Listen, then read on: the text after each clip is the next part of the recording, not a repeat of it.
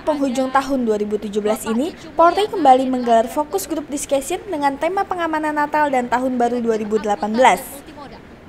Dihadiri dengan beberapa narasumber dari Kementerian Perhubungan, Direktorat Jenderal Perhubungan Darat Cucu Mulyana, Korsabara Bahar Kampolri yang diwakili oleh Kabak Ops Nalef Kombes Pol Ari dan Jeremia, Korlantas Polri yang diwakili oleh Kasubag Dalopsnal Bagian Operasi AKBP Subono, dan Kepala Seksi Bina Marga Direktorat Reservasi Jalan, Pemantauan dan Evaluasi Heri Kurniawan.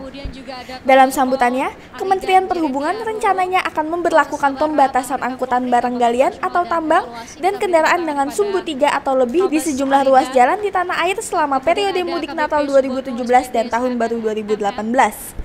Direktur Angkutan dan Multimoda Direktoral Jenderal Perhubungan Darat, Cucu Mulyana mengatakan, rencana pengaturan lalu lintas hanya berlaku pada tanggal 22 sampai 23 dan 29 sampai 30 Desember 2017.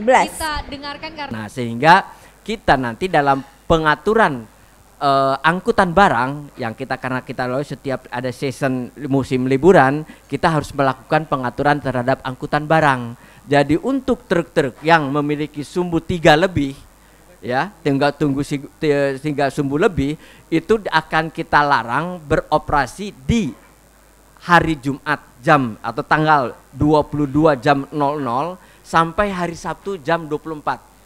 Jadi tanggal 22 jam 00 sampai tanggal 23 jam 24.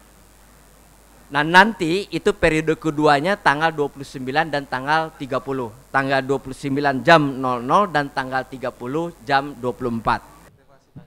Jumlah pemudik menjelang Natal dan Tahun Baru 2018 diprediksi meningkat dibanding tahun sebelumnya.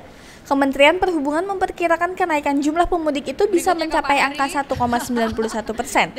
Sedangkan jumlah kendaraan diprediksi akan meningkat hingga 10 persen. Terima kasih Pak. Sampai ketemu. Dari Jakarta, tim liputan Tribrata TV, salam Tribrata.